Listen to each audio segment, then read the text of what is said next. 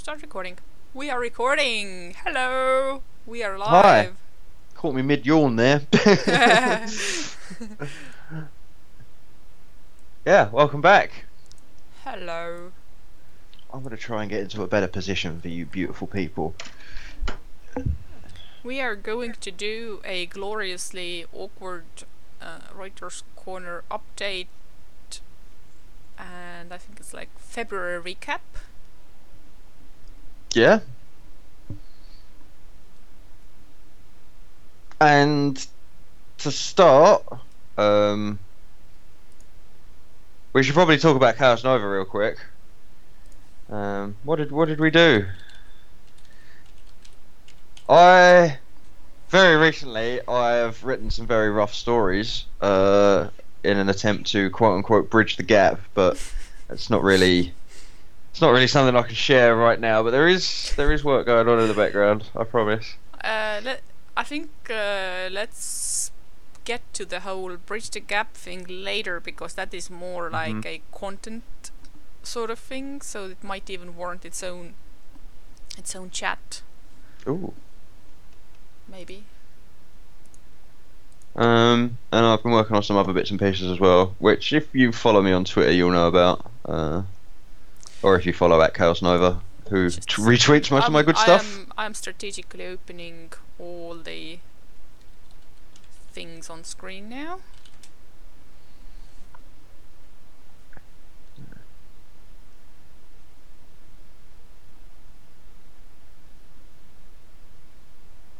And it is open. So yeah, if you follow us on Twitter, you'll see that there's been I've been working on other projects like Outrunners and Harbour City, and and they have been an attempt to challenge myself, and in in that regard, they've been a huge success because my writing has improved in other areas. Uh, so at least I feel like it has. So that's that's a positive. I think it's good to challenge yourself.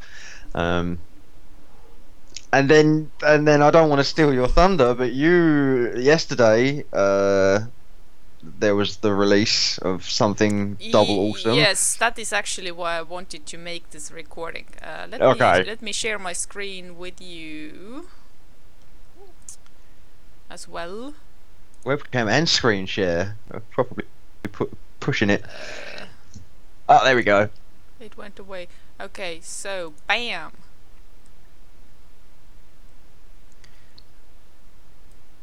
There will be some screen screenception here, but let's let's have it. So, uh, the second episode of the translation of Seeker is up. Oh my god! Oh my god! Oh my god! so good.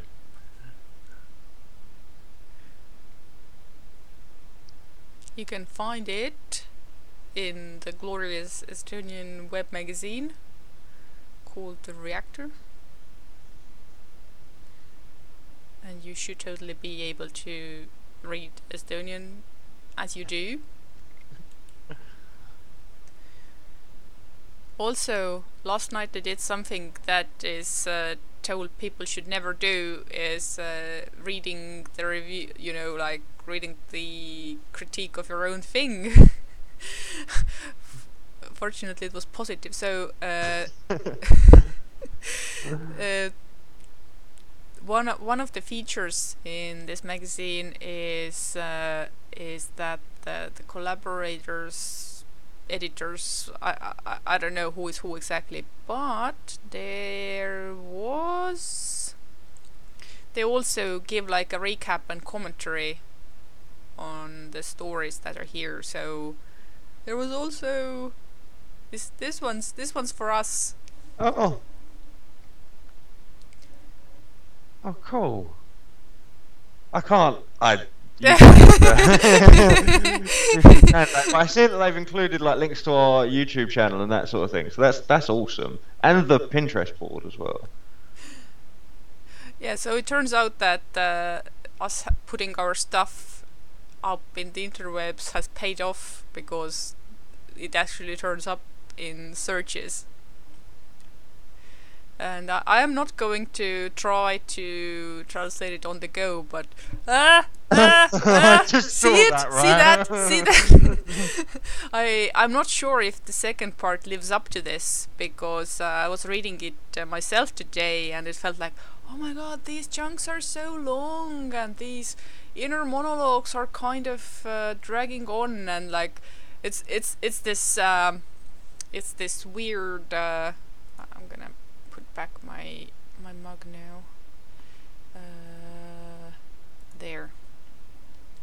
So it's uh, it's this weird thing that when when you are working on something, then uh, when you're really like inside the material, then at some point you can no longer uh,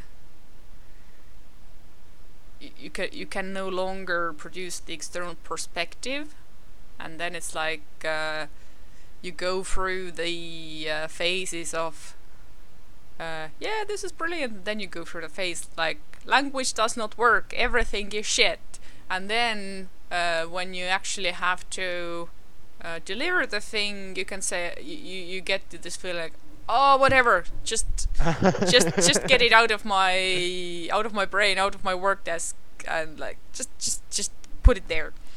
And and then when you read it back like a few months later, or or a month later, then it's like, ooh, okay, this. Uh, this does not flow well at all, and like, oh, ooh, a another person might have done it a lot more differently. So it's like uh, when I was reading back the stuff that has been actually released in such a way uh, with my eyes i can sort of see that yeah i i could totally use the input from another translating editing person. And i, I don't i don't mean like uh, I, I have received some some comments from the uh, from the, from the story coordinator or story editor in in the magazine. But I mean like somebody who would help to guide the translating process itself.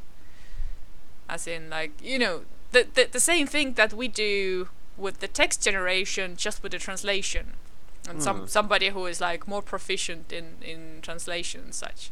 So basically when i when i read when i read our own stuff back or or my stuff back then uh, I can I can tell that uh, it is not book quality. Or like it is it is not the quality that I would want to see in an actual printed book. Like it's it's the best I can do right now. Uh, and even if I work through with the same material more and more and more it probably doesn't get any better. Like this this is this is what I'm able to give. But uh, some but uh, having seen two uh, pieces or two episodes uh, released now, uh, I'm looking at it like, yeah, I could use like a more pro translators hand holding here and there, or like just. It's, it's probably something where you can get a lot of mileage from little changes, and and I'm way too close to the process to actually see those things in perspective in time. So it's like so there there's a lot of self doubt and a lot of uh, uh, a lot of uh, mm, self awareness in this process. Let's let's put it like this. I think you've done an amazing job. Nine out of ten, man. That's that's that's pretty impressive. I wish I could read Estonian, and I may I may have to start learning um, Estonian because I want to read the version that you've written. Right, I know there it's the it's the same story, but it's there are differences, Mhm. right? You have to say in Estonian, you have to say things slightly differently to the way you'd say them in English, or a lot It's, uh, differently. yeah, it's it's it's it's a lot more than just that. Uh, so it's like, uh, well, there's the word level, Mm. and and you know the way you speak about things. Uh, there's the sure you can say you you could say this thing in Estonian, but why would you? Uh, and there are certain sequences of action and sequences of thought that I have either skipped over or rearranged completely because they, they just wouldn't work in Estonian. For Mm. example, in the English version, there would be the I don't know the cleanup sequence like off after after Joel gets back from uh, from the bloody fights of the prison station. She lands in her uh, in in her shuttle, and then there's like a sort of a, sort of uh, flowing mundane routine how she cleans herself up and sets the course and all that.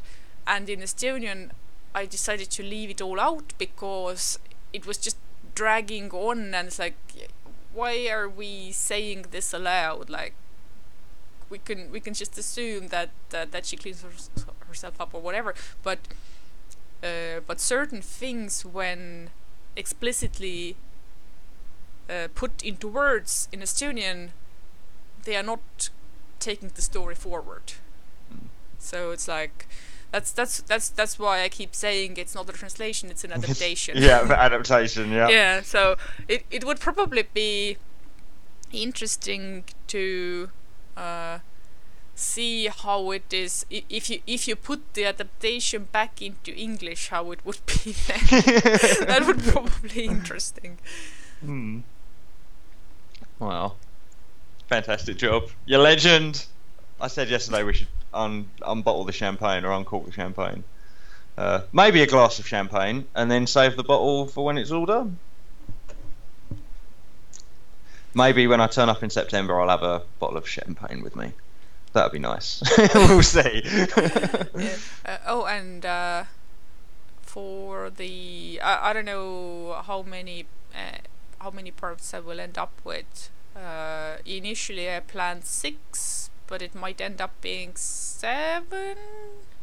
But uh, but in any case, uh, uh, the the stories or the uh, story department editor has asked me to write a little summary about you know how it came to be and you know the a, little uh, a little overview thingy uh, to accompany the the final episode so there will be that at some point Oh, but that's that's cool. months that's months off at this point Yeah. Still, that's a nice touch. I think Mhm. that's cool. Ah, well, there you go. Yep. And that was my february So at this at this point, I have sent off the third part, and uh, and I've, I've already started working on part four because uh, I did run out of time for part three because I, I was uh, I was facing some greater than usual focusing trouble and the week that I had set aside for just the translation, uh, ni- 90% of that week ended up me, me being like staring at the screen and like, oh, I cannot words. and and uh, and uh, the month before that was all full of translating uh, user interfaces for the Latvians and all that. So there's it's been a busy February, is what I'm trying to Mm. say. It, it's been a hard year to get back into, I think. After the Christmas funk, and then we had a really good like work hmm period in, in near the end of January, and uh, I don't know. It's just been hard to get back into it. Well, uh, I can say for my part, it's it's not that it's not that it's hard to get into it. I just have so much other work that I physically don't have the I, I, I don't have the available uh, nor to, uh, neither time nor the brain bandwidth to you know even start getting into it Yeah. but uh, then again since we are still not earning anything from the seeker i am Mm. sad to report i do have to uh, i do have to do regular other projects to just just to you know i mean i, I like to eat Yep. there is that eating is good Mhm. and uh, I need to build up the funds somehow to uh, to get the grand plan of moving to the countryside, uh, making that more realistic. So so yeah, there is that. It's a lot going on. So let's return to what you've been up to. I will I will uh, scroll your Twitter feed on the screen. Um, I'm trying to go back to the earliest point. What did I start doing? Um, Outrunners? yeah, I think Outrunners was probably the first thing. Uh, I started writing. The target for the end of this year is to have an Outrunners story released, hmm and I started writing one um, about Isabel, Izzy Jackson, Isabel Jackson, who's one of my Outrunner characters, and then I went backwards because I was like, I need to establish how all of this sort of happened and came about. So I, I went back to when the storm occurred, Mhm. like when everything started going to shit in the UK, basically. The Outrunners, yeah, the storm. Outrunners is uh, set in post-apocalyptic UK, basically. Some big events happened, and it's forced everybody to the the bunkers underground. And uh, going back in time, I took a, a chunk of time in the early days from each character's perspective. So you'd have one from Katie, you'd have, and then the next story, short story, would be like uh, either a few hours or a few days later, and it would be from a different character's perspective.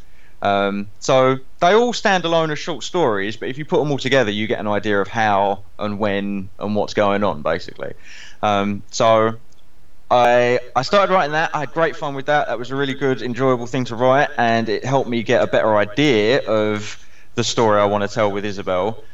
But also, um, I've sent all that stuff off to um, one of our trusted readers, Claire, or one of the friends of the team, uh, and she is reviewing it. And she's just looking for stuff like really glaring, obvious plot Mhm. holes, or when characters don't uh, behave how they've Mhm. been set out previously, and that sort of thing. Um, so, yeah, uh, massive thanks to Claire for that. So she's making sure I'm not working in a vacuum. And then you've got after that, um, I just had a spark of an idea. Um, I had an itch, and I wanted, and I, and I wanted to. I had an itch, not the sort of type you go to the doctor about, um, and I, I just wanted to write the detective story. I've been, I've been wanting for years. Heavily influenced by Joe Kenda, First 48, you know, all these detective TV programs, and I've recently got into Castle, which is great. I absolutely love watching that. Um, and so I thought prior to the realization that I can work on things outside of Chaos Nova, I was like, I'm going to cram this story in here called The Hunt, and it's going to be like Logan Taylor, he's going to do his thing, and then it's going to relate to the whole larger Taking Flight Chaos Yeah. Nova arc. You don't, I don't have to do that. Uh, I Yeah. don't have, not, Yeah. not everything has to relate to Chaos Nova. So I've started writing my Harbour City, which is um, it's in New Jersey. It's set in the 80s. It's properly old school. Like the, the main character drives a Chevy Nova, for, just like you know, just as a cute little thing.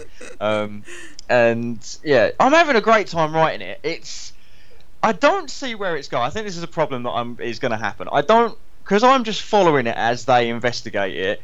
They found a guy. He's been shot behind a, a quick shop, you know, like one of Mhm. those convenience stores. Um, he's been shot twice, and then his body's just been left there, and that.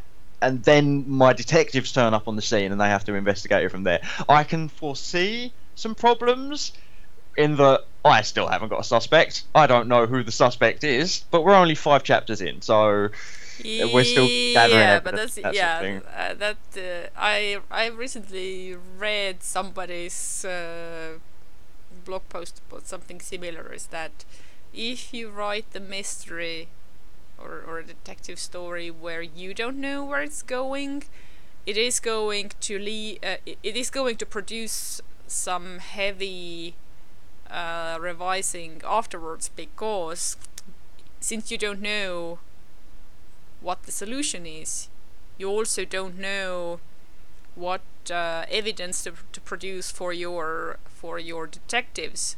And uh, while the whole oh I'm just going where my characters want to go they are the detectives. While this sounds very nice as a as a tweet from the craft perspe- perspective it is It's kind of lazy. no It's- it, no it's, it's it's not lazy but it's it's it's it's it's something that is very nice to put on a mug or a t-shirt but uh, in the interest of a complete work that actually makes sense that's utter bullshit Yeah. Yeah. So So, so so yeah it's it's like yes uh, uh, what you're doing right now i think they call it discovery writing and it can totally work on its own but it will uh, it will bring the need of uh, of some heavy uh, double checking and back checking and revising Mhm. later on oh yeah, definitely. But I, I'm enjoying it. Um, Mhm. it's a bit cheesy. The main character's called Billy Domino, um, and I did a little bit of research. Domino is apparently a legit surname in Italy, so I don't feel too bad. Um, um, and you, yeah, can I- always, I- you can you can always task Claire to come up with Italian names. And Oh, then, yeah, and then when somebody blames you, you can say, "Oh, what an actual Italian told me."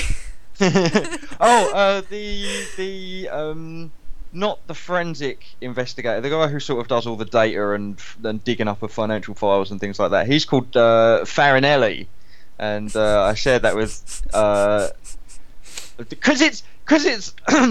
I've, I've got it in my head. It's it. Harbour City is a city that was sort of built on prohibition, and there's a few casinos and that kind of thing. It's a bit of a dodgy city, and I imagine there's there was because it's on the east coast of America. There would have been like some immigration. So you'd have had the Italians, you've had the Irish, you'd have had all those sorts of people moving over. In very in the very early days, right? Not in like the 80s when we're running the story, but I think there would be some of that in there, like there is in New York. Like you get your Italian sectors and you get your um, uh, I am not the person to, to discuss this with. This Yeah, is and this, this- is something you have to use your Ameri- American connection yeah, to and this is the other thing. It's great that I've got another friend, Chrissy, who's helping me with all this stuff. So she will, like, she's American, and I send her these files, and she's like, "Yeah, it's good, but instead of saying car park, parking lot, there's no U in harbour. So there's, it's all things like this that uh, she's really helping me with, and uh, yeah, it's important to, because I, I've been to America maybe once or twice. I think maybe twice. And I was in the very much the touristy part, right? I didn't go to any of the cities. We were in Florida, and that was that was that. Um, so my knowledge of America is very limited. But It comes from the movies. yes, absolutely. Um, but that's such a fascinating world for me. I wanted to, I wanted to at least attempt it, and because I've attempted these things, because I've sort of pushed the boundaries a little bit with Harbour City and uh, Outrunners, uh, because I've challenged myself, I feel like my writing is improving. But you still like you feel like okay, this is this is progress, but you're still like this this could still be better. Like you, I think it's not imposter syndrome. What's the thing? Like the more you learn, the less you know. Does that?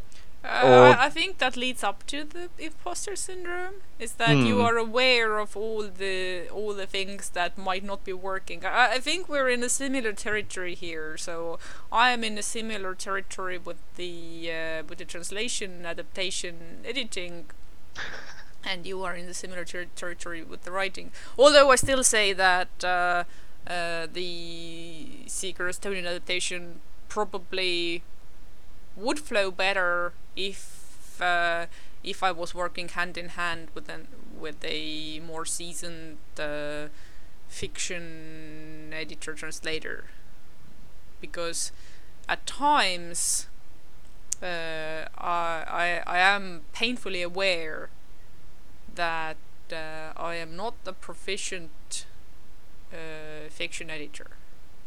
Not in Estonian, anyway. English is easy, but uh, but in Estonian, I am not. Uh, I'm definitely not a proficient uh, fiction editor. I am a bloody copywriter. I think it's just I uh, this this is why for me it's important to have people like you, Claire, and and Chrissy there, because I you've seen split personality, you've seen shell shock. You know Mhm. I, I'm like when I work in a vacuum, and I have. It's just nice to have someone else there to Mhm. give some input and say, "Oh, hey, this isn't working. Maybe maybe you should try this instead." Um, so I think that's important to have assistance in some in some cases, not all the time. We were talking about this last night in Discord Mm. that they uh, Shmoo Shmoo legendary Shmoo he's using an art program and he's like yeah he's using an art program and we were talking about how well we shouldn't really complain about it because it's he was saying you shouldn't really complain about complain about it because it's free and then he later went on to say well actually it's one of these programs that's sort of made by council like because it's because it's it's freeware it's oh, I am made by committee. Yeah, basically, too many cooks spoil the broth, uh, sort of deal going on. And uh, uh, yeah, there's uh, having been part of media development team for several years. Uh, I think uh, it's like there are several stages, or like there there are there are aspects to the production pipeline and the idea generation, some of which work better when there's less people working on it. Some of them work better when there's more people working on it. And of course, you, you do need to have th- those parts need to be communicated and work together. But basically, uh, initial idea generation, brainstorming, all that. That's where that's where it's good if you have I don't know a bunch of a dozen. Then getting those first ideas out in any sort of like distilling the concept is something that is better done with fewer people. And also first draft is some is something that is better to do alone or with fewer people. And then expanding that distilled first concept into a slightly uh, more refined outline is again where you want at least a few more people and then you can assign uh, small teams or, or single people people to specific problems mhm. or specific tasks. So it's like I have it all figured out. Obviously, we, we're professionals here. We know what we're doing. But also, also, I am showing Schmoo's uh, website on the screen while we're while we're at it. Excellent with the little running man. Yeah. So good. All right, and then and then to and then to wrap it up, um, I, I sort of the goal was to finish Outrunners, uh, short stories first draft and Harbour City, uh, first draft by the beginning of March. That hasn't happened, but it has allowed me to reassess how I set myself goals and to make more reasonable demands of myself in the Mhm. future. Um, but also, um, I got hit. I got hit by the itch again. yeah, no, day before. I think it might have been the day before.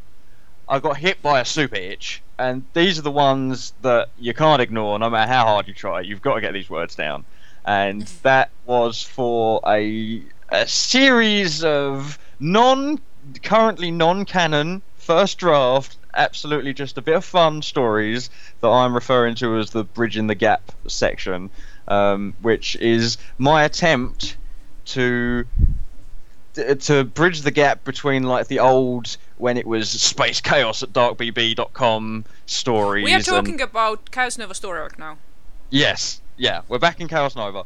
Um, originally, uh, before before the times of the editor, let's say, um, we ran SerenityRP.com forums and we ran uh, SpaceChaos.com forums.com, and we built up a lot of stories on them, like taking flight, for example, and that kind of thing. Um, and we had a lot of adventures, and then as as me and you started talking to one another and getting involved, um, we started getting into this newer sort of storytelling arc where we're beyond. Um, like the interdimensional boogeymen and deja vu and educators and all stuff like that started coming up, and, and the universe became. Uh, with your with your input, you were able to make the places more real. Uh, a lot of that shit was there before. Like the educator But was thought out. Coyotes. Well, nothing was thought out. No, th- this is the thing, right? So it's it's like you've got the old unthought sort of bits of good ideas are there, and and if you pull them together, there's a story there. Like Yeah, but basically, so so uh, I, I think uh, let's wrap it up. Okay. Uh, this is this is a story for another day.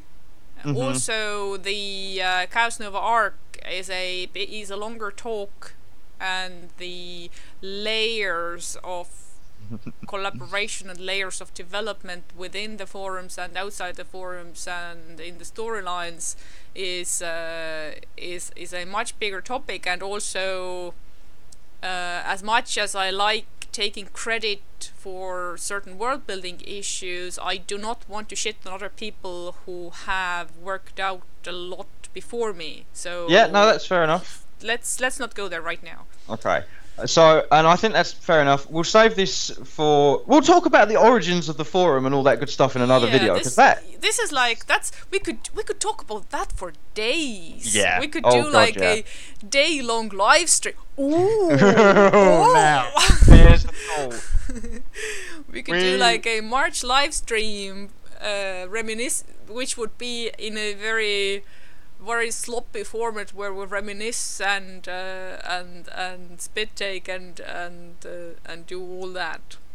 That'd be awesome. Get the gang together. Oh look, a plan has been formed. Uh, we shall speculate and discuss this and organise something. Oh look at that. Maybe, maybe we can even uh, get some of our uh, more elusive crew to show up. Mm. Mm. All right. Well, thank you very much for Oh, watching, no, no, no, guys. no, I'm not Oh, no, wrapping up the video okay. yet. I was just uh, I was just putting a cap on your frothing uh, misguided talk. I, I wanted to, uh, so I, I I wanted to lead into a a little bit more elaborate out- outro sequence. So Oh. February, it has been long. Uh, there's snow and cold now. Uh, I wanted to end up with the questions like what are we playing, what are we reading, what are we watching, but uh, let's let's just wrap it up. okay. I haven't really been doing a whole lot other than working, so there you go. yeah, there's there's been work, lots of work. yeah. So let's wrap it up here Mhm. and uh, see what else, what March shall bring. yeah. Okay, thank, Thank you very much for watching. Bye.